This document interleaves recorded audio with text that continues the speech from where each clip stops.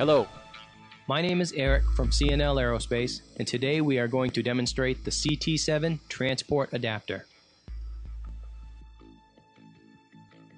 The CT7 transport adapter, part number CL2C90501G01, is designed to support the engine assembly or the power unit assembly during engine and PGB maintenance activity.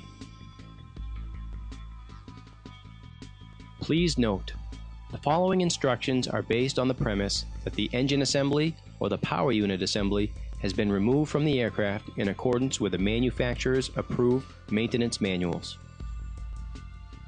To reduce the possibility of power unit and or PGB damage, it is recommended that at least two people assist the lifting device operator while installing or removing an engine or power unit assembly from the transport adapter.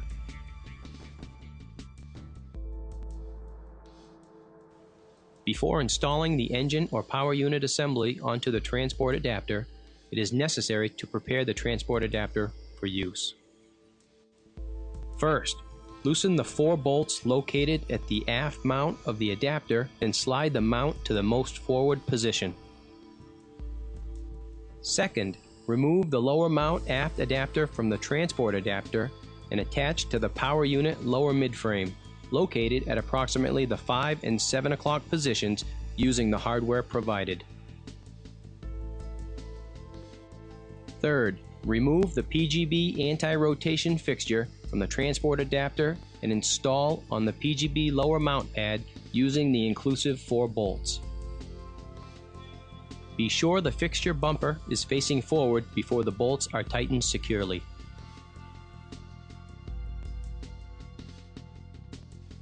Center the U-shaped PGB support assembly laterally on the four bearing pins. Loosen the locking knobs for the PGB support pins and slide the pins outboard for PGB strut bracket clearance. Loosen the carriage lock located on the forward left side of the carriage assembly for free fore and aft travel. The transport adapter is now ready to accept the engine assembly. Using a suitable lifting device and the engine hoist adapter, part number CL2C90509G01, center the engine assembly over the transport adapter.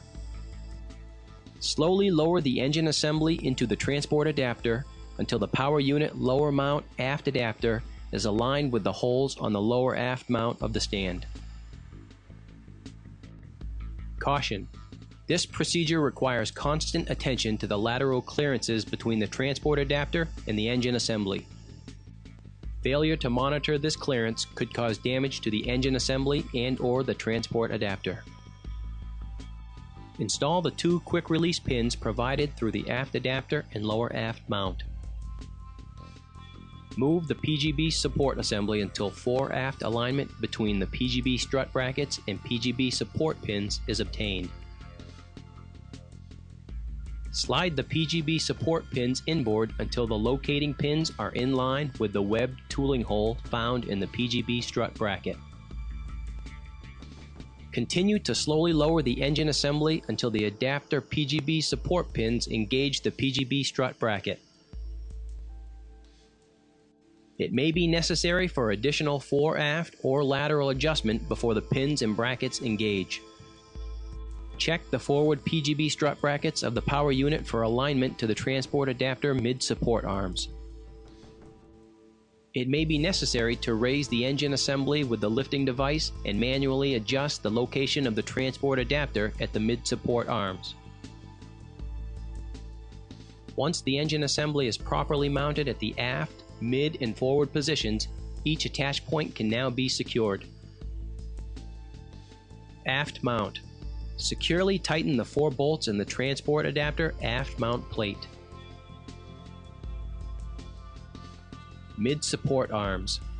Slide left and right locking clamp over the PGB strut bracket and securely tighten the bolt. PGB support pins. Slide left and right locking clamp over the PGB strut bracket and securely tighten the bolt. Disconnect the engine hoist adapter from the engine assembly and raise the hoist adapter with the lifting device until it clears the engine assembly. Slowly move the engine hoist adapter with the lifting device to a secure location. Using a suitable lifting device and the power unit hoist adapter CL290500G02, laterally center the power unit assembly over the transport adapter. Slowly lower the power unit assembly into the transport adapter until the power unit lower mount aft adapter is aligned with the holes on the lower aft mount of the stand. Caution. This procedure requires constant attention to the lateral clearances between the transport adapter and the power unit assembly. Failure to monitor this clearance could cause damage to the power unit assembly and or the transport adapter. Install the two quick release pins provided through the aft adapter and lower aft mount. Continue to slowly lower the power unit assembly until the forward PGB strut brackets are supported by the transport adapter mid-support arms. Slide the mid-support arm locking clamps over the PGB strut brackets and tighten each locking bolt. Note, it may be necessary for additional fore aft or lateral adjustment in order to center the PGB strut brackets with the mid-support arm clamps.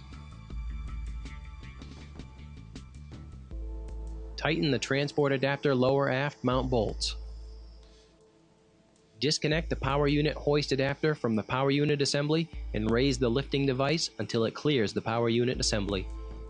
Slowly move the power unit hoist adapter with the lifting device to a secure location. Before separating the power unit from the PGB, it may be necessary to make alignment adjustments to the engine assembly and the transport adapter. These adjustment points are located at the following positions. Carriage assembly lock, located on the forward left side of the transport adapter carriage assembly, allows fore and aft travel of the PGB and attached components during maintenance activity which may include mating and or separation of the PGB assembly. PGB support assembly. U-shaped attachment mounted to the transport adapter carriage assembly. Linear bearings rest on four pins to allow lateral movement of the PGB assembly. PGB support pins. Located on the upper arms of the PGB support assembly, these pins allow the PGB to be centered in the PGB support assembly.